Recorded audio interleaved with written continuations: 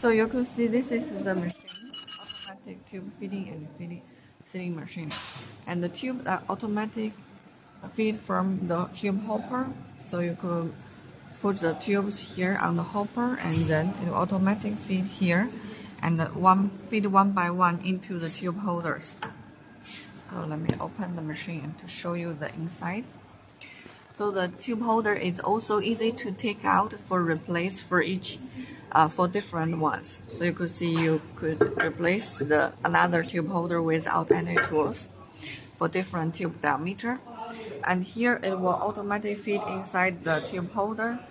And here, here it will press to the tube holder.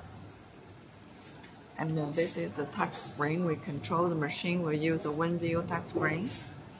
And here, here it will automatically track the color mark on the sensor, uh, on the tube.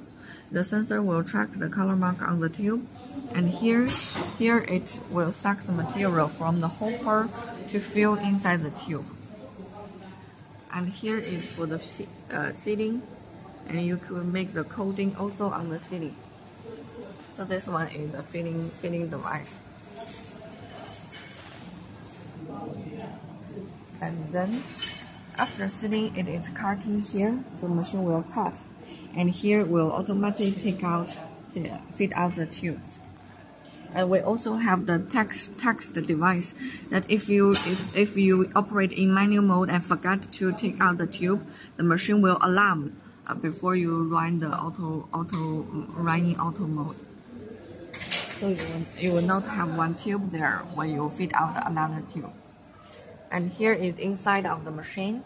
You could see we use the Mitsubishi PLC and with all the marks on the uh, uh, for, for each wiring so it's easy to uh, inspect the machine.